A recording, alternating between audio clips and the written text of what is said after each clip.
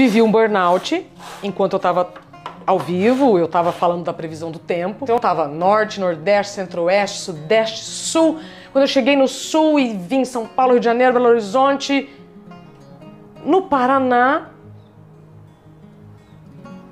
a visão ficou turva, o coração acelerou, faltou ar, vontade de vomitar. Aí o apresentador que estava comigo, Curitiba, Curitiba. Eu esqueci o nome da capital do meu estado. Não é que eu esqueci o nome da capital de um estado que eu nunca fui. O dia que eu tive o apagão, eu cheguei no psiquiatra sob risco de convulsão. Emprego você pode ter vários, crachá você pode ter vários, mas vida é uma só. Dia puxado, todo mundo tem. Uma vida puxada é diferente.